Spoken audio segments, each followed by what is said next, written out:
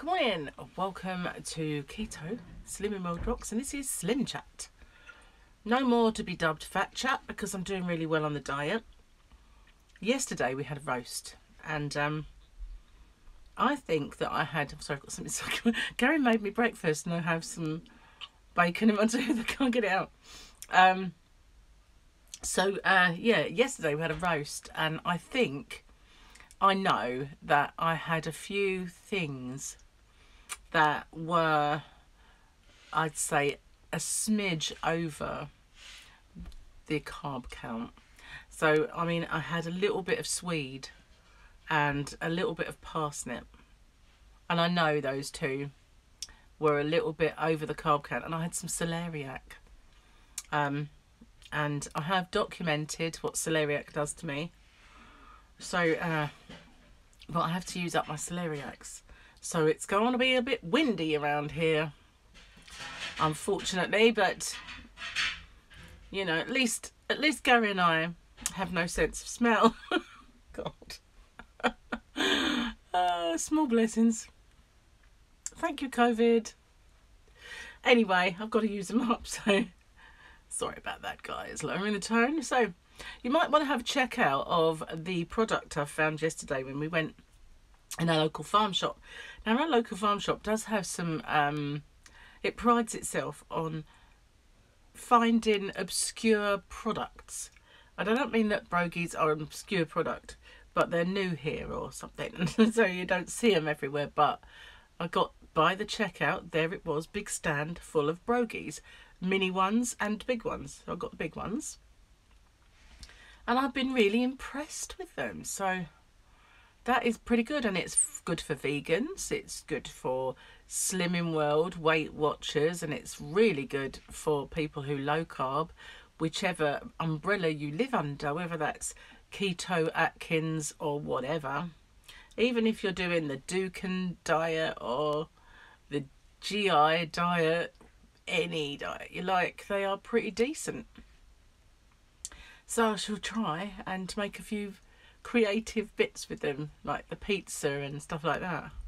At the moment, all I've had is tried one with a kind of a a cream cheese that had chives and garlic and stuff in it, like Boursin, or I know that you're probably supposed to say Borsa, but you know Boursin or Roulette, one of those cheeses, and mine was dairy free, and I thought it was going to be disgusting but it actually tasted exactly the same. Made with coconut oil instead, but I have to say I really liked that. That weren't bad at all. Definitely cook with that because I used to slice up like a chicken breast, cut it in the centre, stuff in some of that cheese, wrap it in bacon, put like a bit cheddar on it and tin foil it up, put it in the oven and oh wow, gorgeousness. So I haven't done that in a long time, but of course I couldn't really have proper cheese anymore. So I'm going to have pretend cheese that's got no dairy in it. It's not really pretend, I know, but dairy-free cheeses, they're the way to go. As long as they're not carby, because some of them are. But I read the packets. Well, it was came in a tub, this one. I got it in Tesco. If anybody's interested. Oh, finally got it out. Hmm. Saved it for later on, see? Can't be bad. the breakfast that likes to keep on giving. So yeah, check out the Brogies if you're lucky enough to have them. But they do have a website where you can buy from them. I did notice though, I didn't have a really study that website because I've got some and probably be able to get some more from the same shop. Um, that if you do buy them, they're in a great big box, so you know you might have more brogies than you bargain for. But they, I think they do have a good date on them. But this um, farm shop my mum used to frequent years ago, and it's grown from this little shed that had a, a stove burner in the middle. This guy called Eddie, so it's called Eddie's. That's not the name of it, but that's what we've always called it, Eddie's and we used to go in there and it was bitterly cold and there's this this log burner in the centre we all used to hop, huddle around it to keep a bit warm. And she would like buy up a storm my mum. She never knew when to stop. Always bought too much stuff. We threw away more than we ate.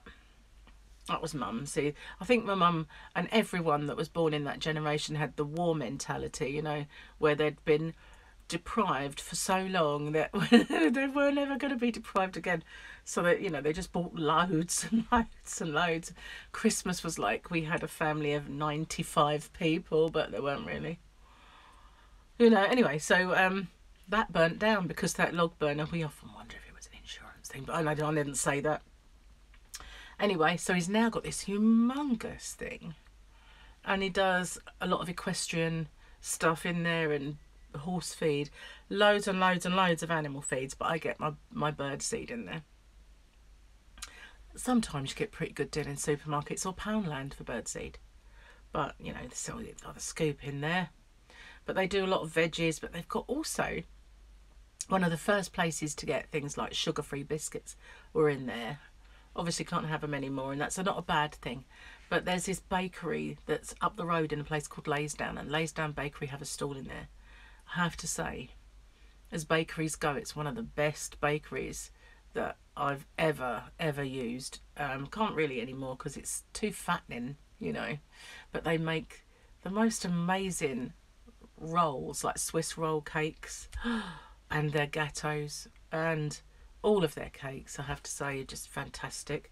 So obviously I just bread pudding as well, I have to say. So I really just go straight past that one down to try not to look. And then there's a meat counter, which is another, you know, it's not Eddie's, it's another concession in there, but they are, uh, they have lovely great T-bones in there. And they, they do some really, really lovely meats.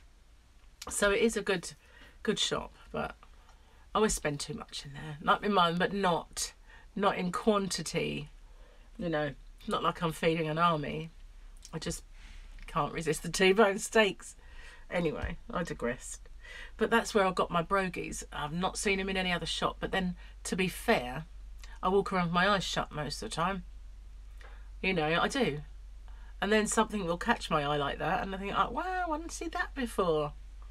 But I thought I'd share it anyway because it is a good little snack. And I was always looking for sort of keto type snacks because, you know, I bought myself some things like tins of corned beef so I can open that and just have a chunk if I'm hungry. Or I bought some pastrami yesterday. I don't like to eat processed meats too much though. But I ate that last night. I was starving. Well, I wasn't starving. You never get starving on this diet, but I was peckish. And there was Gary tucking into his nuts and Christmas stuff that he got left over. So I thought, hmm, I bought some mussels and they're frozen so I can just get a few if I want and you know prawns and just put make a little seafood supper so yeah I've got a few bits now that I can chomp on should I get a little bit peckish but um, I think half the battle is knowing that you've got something there then you don't want it because you're not as hungry as you actually think you are but knowing you're deprived that's one of the worst things it's like oh I haven't got any snacks on, therefore I'm hungry but, you know, there's always something. You can always scramble some egg, though it's not like the end of the world. You know, there's always a snack to be had somewhere if you really want to. But I used to just, in those little hunger moments, used to grab a piece of cheese. Well, obviously now I can't have dairy. I don't do that. But with brogies, I can just put, not bogies, guys, brogies. So um, with those, I can just spread some of that cheese on and I've got a little snacky poo that's really low carb and very, very low calorie. Because, you know, I don't, although I do low carb in, I'm not one of these people that will sit there and add the fats. They make me feel sick. I can't do it. Like breakfast just now was a little bit, it was lovely, but at the end of it, I started to feel like there's too much grease on this for me. You know, I just need it to be a little bit cleaner. But it was gorgeous, and um, I do thank Gary for making it. But I do like try and stay away from too much fat. And I know it's not really the principles of the keto, but it is for me. It works, so don't mess with the plan that works, I say. Anyway, so I've babbled on long enough, I guess, and um, not really got much to else to, to, to well, actually I have. Um, I haven't told you what I'm having today, have I?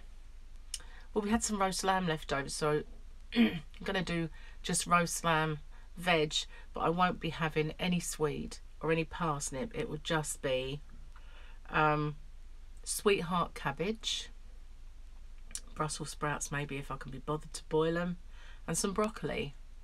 And baby corn. Because you can't have corn, but you can have baby corn. So I have the baby corn, Gary has the corn. So I shall just have that today. He does make a mean gravy and that's probably the carbiest thing that I will have today.